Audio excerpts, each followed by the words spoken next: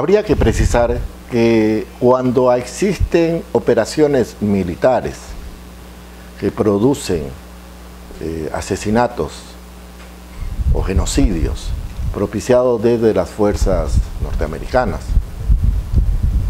¿qué significa esto? De que inmediatamente los medios internacionales empiezan a posesionar la figura del peligro de una tercera guerra mundial, lo cual lleva implícito una especie de obstaculizar controlar, neutralizar lo que podría ser la reacción natural de cualquier pueblo de defenderse ante una agresión. Aquí hay un juego mediático, porque es evidente que Irán no es una potencia nuclear. Por lo tanto, para que haya una guerra nuclear tiene que haber dos contendientes, dos estados, dos países confrontándose, pero que tengan capacidades nucleares. Irán no tiene capacidad nuclear. Y hemos precisado de que de Irán dentro de Irak ha sido conjuntamente con otras fuerzas para contrarrestar la presencia del Estado Islámico como enemigo común de muchas fuerzas políticas militares de la región, incluido el propio Estados Unidos. Por lo tanto, podemos entonces afirmar con certeza, guerra mundial no va a existir. Lo que sí es evidente que esto propicia una especie de justificación de armamento nuclear de quienes, del único que en la región directamente vinculado a Irak tiene armas nucleares, que es Israel. También hay que precisar que el rol de Rusia, a cuenta de que es también una potencia nuclear, puede incidir en una posible confrontación con Estados Unidos, eso es una falacia porque la situación de Irak no se enmarca en una confrontación entre Estados Unidos y Rusia. Más bien están colaborando conjuntamente con otras fuerzas incluso de la OTAN, para poder expulsar al Estado Islámico como, enemigo común al pueblo iraquí y también a las fuerzas generales que están y pueblos de esa región.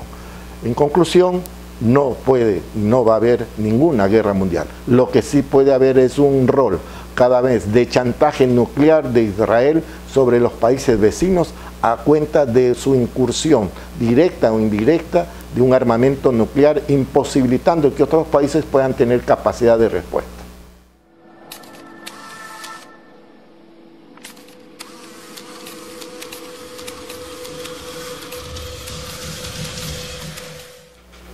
Aquí hay un asunto sumamente importante sobre el rol de las Naciones Unidas y lo que puede hacer el Consejo de Seguridad en este momento que está siendo solicitado para que se pronuncie sobre la situación generada a raíz del asesinato del general Soleimani.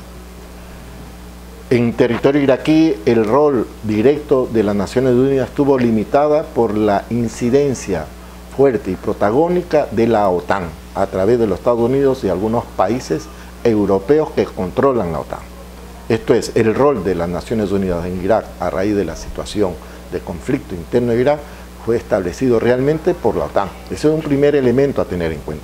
Un segundo elemento, el proceso generado, incluso la propia incursión militar de los Estados Unidos, no solo para ahora, sino incluso desde tiempos de que ellos invadieron Irak, no fue aprobado por las Naciones Unidas.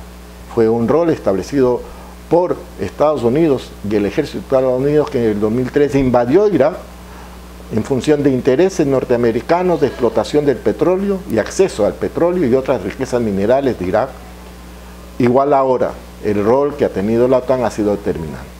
Por lo tanto, ahora la Naciones Unidas, ante la eventualidad de que esto genere una situación regional aguda y crítica, deberá actuar, por cierto, e Irán hace bien en solicitar que el Consejo de Seguridad asuma un rol, porque aquí hay tres naciones que son determinantes para la decisión del futuro de Irán, que es no solo Estados Unidos, sino otras dos potencias que están en este mundo multipolar generando una estabilidad real en el mundo, que es China y Rusia.